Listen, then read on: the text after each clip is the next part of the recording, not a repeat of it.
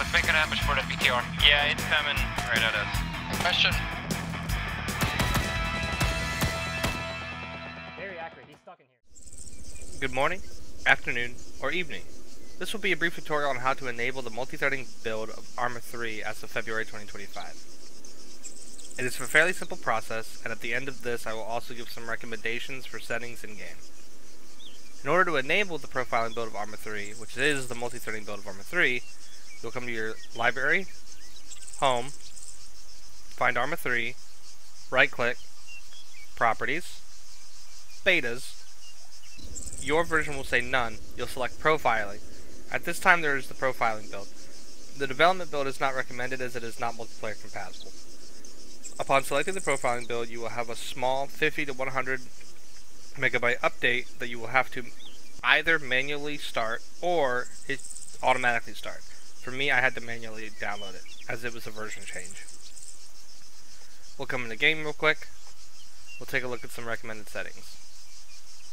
I personally saw a pretty good performance increase with the multi-threading version. Approximately 33 to 45% is what's uh, generally reported if you don't change your settings. This is me pushing my settings with visibility and quality. Um, my game looks as bright as it is due to the 200 saturation. Um, if you maintain whatever your settings were and add about 30% um, and then bump up these left side settings, uh, you'll probably maintain pretty good performance. Um, I personally could say if you leave these low and bump these up, you'll be like good to go in the clear. A lot of the things that you'll see in improvement is just overall FPS, uh, units gen like generating at range. I bumped up my object distance really far. Like I said, my current settings are a bit extreme just for testing. Uh, unit scenarios like this used to hang, and by hang I mean like the AI would stop acting, vehicles would crash or whatever because their AI were not able to make decisions in the proper time.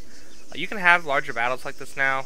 Uh, some scenario files will run a lot better. Custom scripts run better due to multi-threading, and uh, generally, as I say, about a I say a general 25 to 45 percent increase is a conservative uh, expectation for this multi-threading build. It's very interesting. Um, this is done on Arma 3, likely due to the player population still being extremely high compared to Arma Reforger.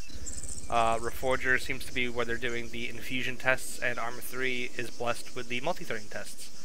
So uh, get this downloaded, give them some data, and uh, we'll see you for Arma 4.